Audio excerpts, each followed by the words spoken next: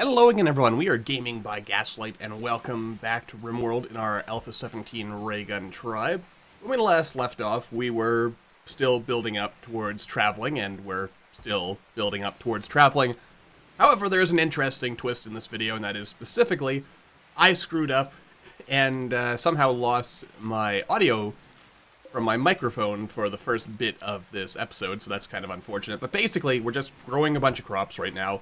We're going to make a whole bunch of pemmican. We've got a little factory set up over there, as you can see in the top, uh, top rightish quadrant there.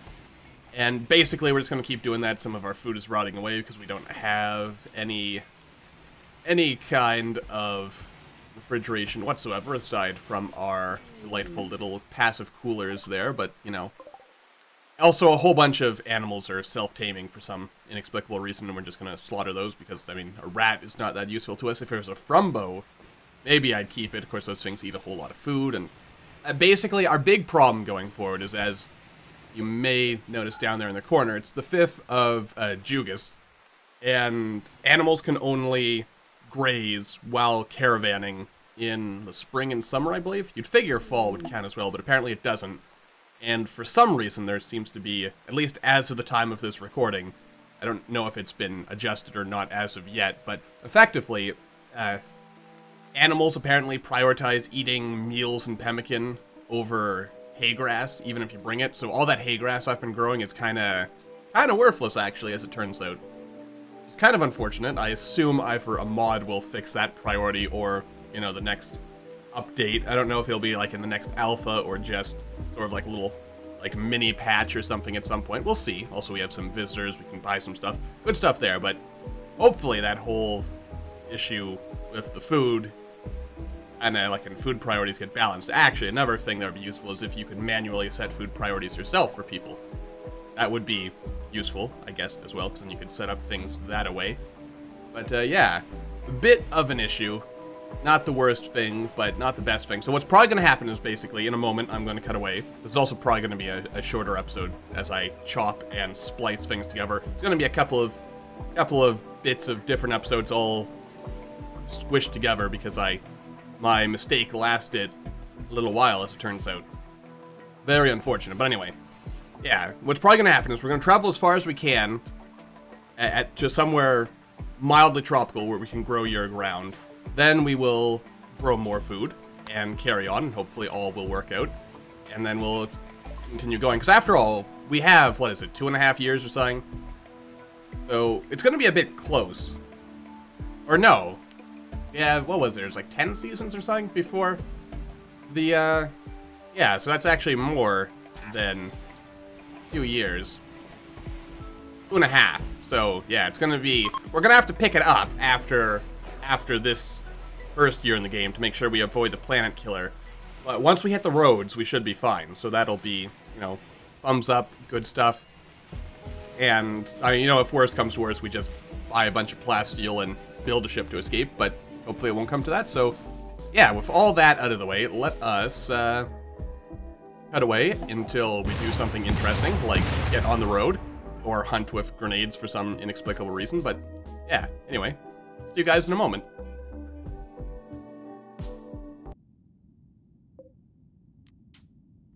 Alrighty then, so we're finally ready to get our caravan set up. I mean, look at all that hay. And to, to know now, in retrospect, that the Muffalo will eat none of that, it, it hurts me deep inside. I think colonists can eat kibble, so I suppose the smart play might have actually been to mix the meat and the kib or in the hay to make kibble and do something like that. Anyway, we're just measuring our time here because my initial plan was to attack this pirate outpost, but as you'll see, you know, spoiler alert, there's some interesting diversions that happen in the meanwhile. But yeah, basically, the idea is as long as we can get to like the actual connected highway that is just off screen from us. Also, I, I want to kind of pay attention to this because at some point I picked up a bunch of rocks. I don't know if that was here or if that'll be later, but I picked up a whole bunch of rocks for no particular reason, and yeah, that's just, you know, ridiculous. I mean, why would you why would you carry a bunch of rocks with you? Those chunks are absolutely useless. Uh, well, useless in the sense that uh, you really don't need them because you can find chunks of rock on the ground everywhere. That'd be like taking those human corpses with us. I mean, who wants human corpses? No one, that's who. Anyway, but yeah, we're basically going to take everything we can. The plan is we're going to stop at that little friendly faction that's between us and the pirate base, sell off most of our junk, hopefully, make a bunch of money, because you never know, we're probably going to need money in the not-too-distant future in order to actually afford anything. And, because, you know, it's always good to have a contingency plan. You never know when it's going to turn out that you actually don't have enough time to escape the planet before the planet killer falls, though I am kind of wondering, since since episode 1, that planet killer warning has not been visible on screen if I somehow that got mucked up and there's no planet killer coming. I'm gonna keep playing the game like a planet killer is coming, because, you know, we kind of have to, which, incidentally, if I think about it, timing on that, that planet killer should hit sometime in the winter. Or spring. One or the other.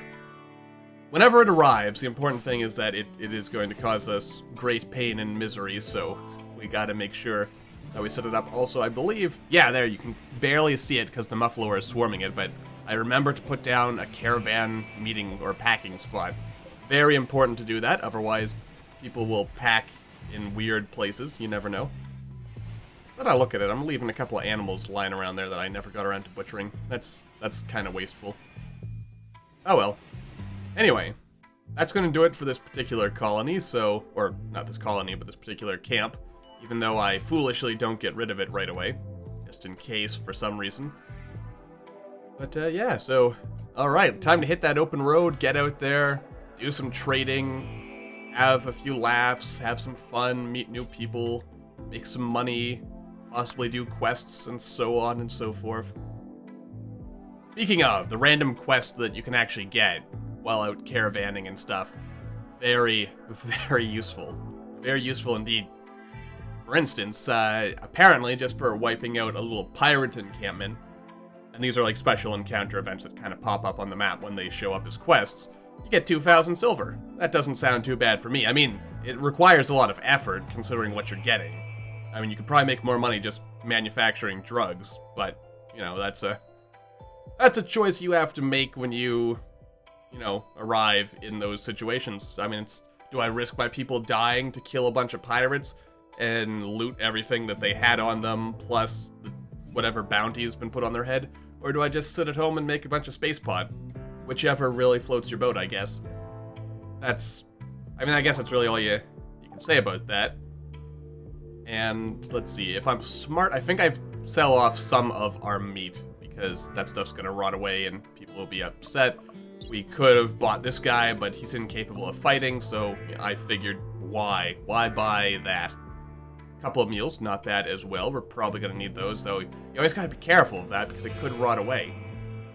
Let's see, I think this is... Yeah, there's that insect jelly. That might have been good. I'm pretty sure insect jelly has a really long shelf life, which is good, because then you can hold on to it. Uh, hopefully I sell those chicken eggs. Alright, we're selling the rice holding on to the milk, though the milk will probably rot. And my reasoning for getting rid of some of the stuff that can break down is just because I, I don't want a bunch of stuff rotting away on us while we're in the middle of a caravan. And of course, yeah, buy a couple of fine meals, because people will prioritize that. Though, food priorities, particularly during caravans, sometimes confuse me just- oh, I did sell the milk. But they sometimes confuse me just a little bit. But, uh, then again, the whole caravanning aspect is still fairly new. I mean, it was only introduced in Alpha 16, so we're obviously probably going to be seeing a lot of balancing and changing and back and forth there. There's also, oh, what is it? The Psychic Animal Pulser. I'm gonna, gonna try to buy that because that can be very useful if you have a pirate map that's full of animals. Then you just kind of wall yourselves off and you wait for the animals to kill the pirates, or at least weaken them for you, and if the animals lose, at least you get a bunch of free meat. If the animals win, well, you got a couple of manhunters to worry about, but you can always deal with those in due course. And actually, probably the way to do that would be to send one person in with the animal pulser and then have that person wall themselves off and then have everyone else wait outside because I'm I've never actually tested this. I've heard stories of it being used to great effect, but I've never really tested to see if your own animals would go mad due to the animal pulser, so you'd probably want to leave your animals outside just to be safe. But we can experiment with that at some point once we once we get around to it, inevitably, as there is a great deal of inevitability to just about anything. And yeah, so apparently I also spent like 10 million years doing trade here, so that's, uh, yeah. It was probably much more riveting commentary when I was actually recording it, at least in my own head. Probably should sell some of that steel. That would be a good idea. We're still actually making money out of this, which is the crazy thing. Selling so much. Oh, buying some beer just to... Just so that the colonists are happy, I guess.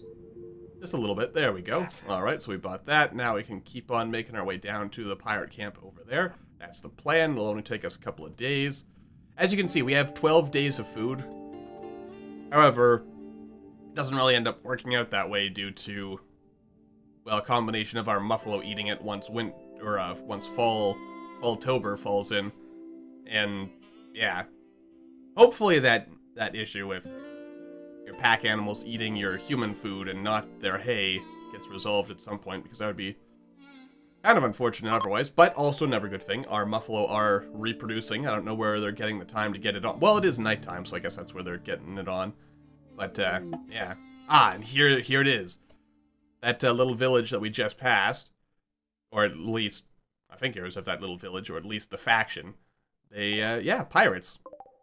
So we can go fight these guys instead of the main pirate base, which also works out. And yeah, gives us a little mini base that we can park and resupply on. I mean, it is a very risky proposition doing stuff like this because you're almost always going to end up taking some some damages, which is generally not a good thing. And yeah, this is actually not the best pathing, as you'll see in a moment uh, just following the highway is usually, in 99% of cases, staying on the road is faster and better. So, yes, we have that to keep in mind. But we will probably be cutting away in a moment just to, because it's going to take us another day at least in order to actually reach that colony. So, the plan is I will cut away until we're actually ready to start the fight, and when that happens, I'll cut back in, we'll have the fight, and then that should end the portion of this episode where I don't have audio. So, until then, I will see you guys in just just a few moments. Just watching, just just killing a couple more seconds here. This is gonna be good. It's gonna be a great fight. I look very much forward to it. But uh, yeah, okay. See you guys in a moment. Just just about almost there. Almost there. Almost fight time. Almost prime time.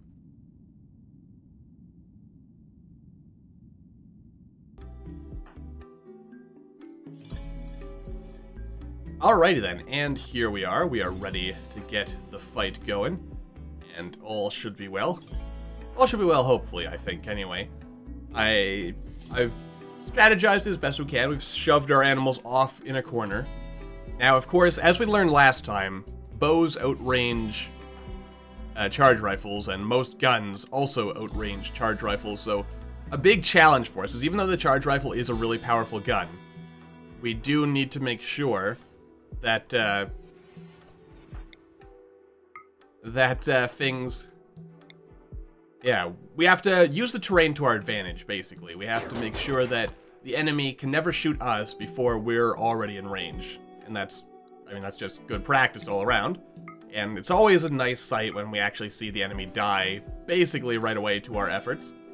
Though we're not going to get out of this one unscathed. It's going to be a bloodbath I tells you absolute bloodbath. Though fortunately, I think there was only like five or six guys, so it's about even numbers. I think that one guy, is that, is that one guy got grenades down there? I think he might. As you can also see, I'm really trying to micromanage this because I am absolutely terrified that we are going to end up dead. Oh dear. Oh, wait. Yeah, you see, that's my problem. When everyone starts shooting at the same guy, that's why I really really do believe in micromanaging who everyone's targeting, because if everyone's shooting the same guy, inevitably there's going to be overkill. But uh, at the same time, I mean, there's not really much you can do about that aside for... Oh dear. My guys are getting set on fire. That's less than good. Less than good indeed, but... Overall, I mean... no, none of our guys are dead yet, so that's the important thing. Things do look like they're falling apart, but they are still mostly together, so that's good. That's that's the important thing. We're holding together, we're staying strong, we're lasting as long as we possibly can. Uh, apparently, a rat or something got run over. That was like the most god-awful scream I've ever heard in my life. And there, yeah, we beat them, so... You know, suck it, Raiders. Screw you guys. Unfortunately, uh, Kruka there is a bit injured, but he'll be fine. It'll be great. So, with that in mind, that's where we are going to wrap up this portion of the episode, and when we come back, uh, my mic will be back, and I won't be doing post-commentary anymore, so, yeah. Fun times. Say hello to past me, everyone. Hello, past me. Alright, see you guys in a moment. Okay, and we are back. So this is different outpost than where we were last time. Uh, effectively, what's going on here? Quest completed. Okay, let's see here. Payment has arrived and the faction relations has been improved by 8. Okay, so there's our money. Sweet. That's good. So I assume that means for sure then that last time we lost, or we didn't get it because it went back to our base, which we had of course already uh, salvaged, or done our, our stuff in. So that's that. I'm a little concerned that our animals decided to wander up here, but that's okay. Uh, let's see here. We need to drop off. Uh, and this is actually a pretty good place. We've got, it's nice and warm. People are uh, living. This would be a, a reasonable spot to set up and, uh, you know, maybe get some uh, growing in and some just uh, kind of rest out the winter, re resupply and all that good stuff. So that's probably what we're going to do, in fact. So, with that all in mind, I believe I shall probably wrap things up here. Everyone looks like they have they have done their work rather uh, rather well, so that's good. All right, so we this is not the most exciting most exciting of places, but uh, you know we've got uh, we got some beds at least for people, so everyone will be good there. I can just uh, chuck off. Let's see here. We will drop corpses, I guess, in here where no one has to look at them. Or, yeah, allow rotting corpses. There we go. This one we can delete. And, uh, yeah, so we'll pop out here. This is where we ended up. As you can see, kind of due to the mic-related issues, we did lose a little bit of space, but that's alright. We'll just settle in here. That's good. We're happy. Everyone is doing reasonably well, I guess. This is gonna be like the ugliest, ugliest place of all time. But we'll we'll drop all of our stuff in here for now. This is how we'll. I really hope no one accidentally eats that luciferium. That would be very bad, all things considered. Uh, probably want to get some orders to just chop down trees, but then again, we're I should have, I guess, in retrospect, put our stuff there, but Alright, so we'll order people, we'll chop some stuff down, we'll get our stuff in there. We want the animals to stay in the animal area, so when they wake up, they'll do that. Everyone should hopefully... Yeah, we still got tables. I could install the tables. Alright. So we'll install some tables and some chairs. Alright, at least that way everyone will be good. And uh, I don't think I have acknowledged it yet, but I was informed a little while ago that like if you have like a corner thing going here, then the people sitting at the corner, one of them will not actually, it won't count as eating at a table. So that's a weird situation. Gert. Okay, well, it's just Gert. I mean, who cares about Gert, right? Oh, wait, wait, wait, wait, wait, wait, wait, wait, wait, wait. You're actually... No, no, I don't really think we'll worry about you. Uh, Krauka, wake up and uh, strip this guy. I'm gonna wake everyone up just so that we can... Just so we can move and get everything... Oh, alright. I would would have liked it if you would actually help haul some of our stuff, but alright. If uh, you can't be bothered, I guess I understand your situation. Uh, but yeah, this is where I'm gonna wrap this episode up, so until Till the next time, thank you all for watching. I hope you all enjoyed. Don't forget to hit that like button or maybe leave me a comment down below to let me know what you're thinking. I will see all you in the next video.